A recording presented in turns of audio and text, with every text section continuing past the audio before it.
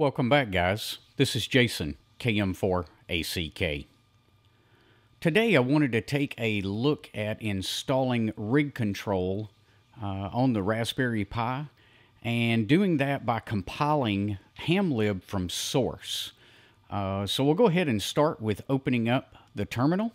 So you could start off and install rig control with something like sudo apt-get uh, install and then uh, rig control. The problem is, is you're going to get a really old version of hamlib, and a lot of the newer radios will not be in there. So let's go ahead today and compile that from source instead so we get the very latest radios installed. So the first thing we're going to do is head over to the website, and I'll leave a link to this site down in the description below.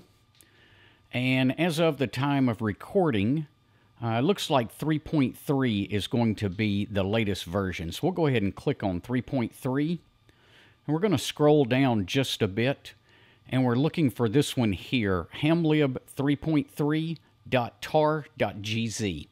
So we'll right click on that and say copy the link location. And let's head back over to the Pi. All right, at the Pi, let's move into our downloads directory. So we'll use cd downloads, and then we'll use the wget command to download the file that we need. So we'll use wget and then paste that link in that we just copied from the website. Now, one thing you'll notice, it adds download right here to the very end. I'm just going to backspace and take that and that leading, um, or that, I'm sorry, that trailing forward slash off of there so that it looks like that. And let's go ahead and hit return to download that file.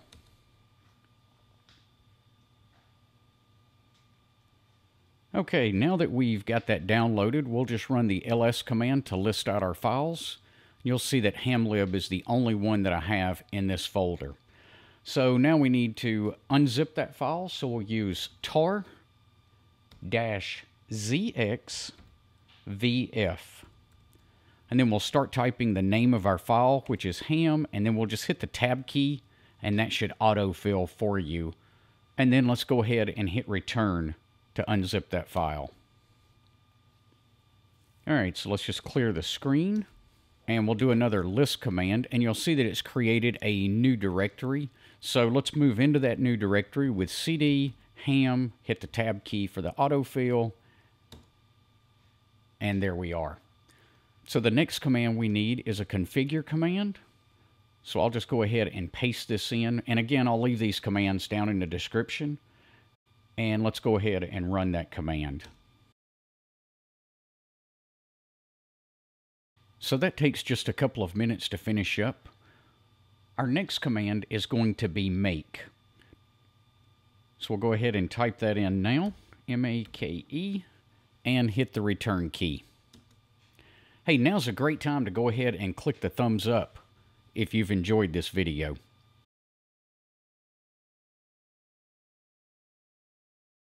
That last command takes 8 to 10 minutes to complete. Next, we want to enter sudo make install.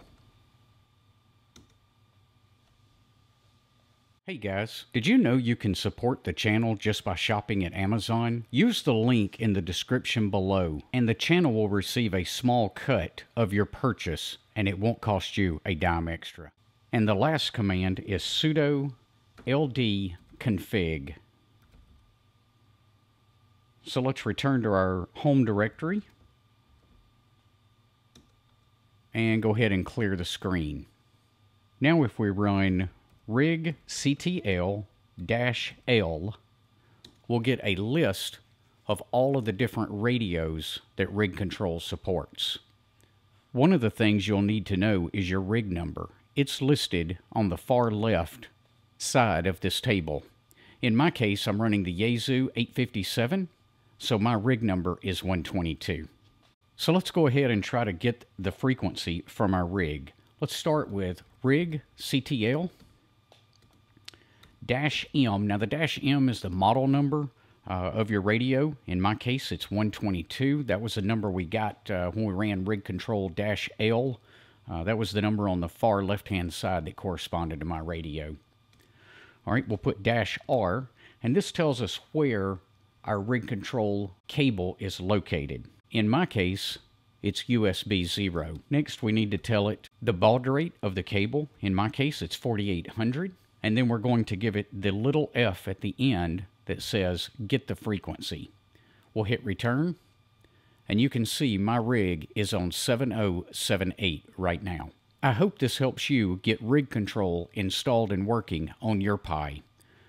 Thank you to all of the subscribers. Be sure to give us a thumbs up and leave any questions down in the comments. Until next time, 7 3.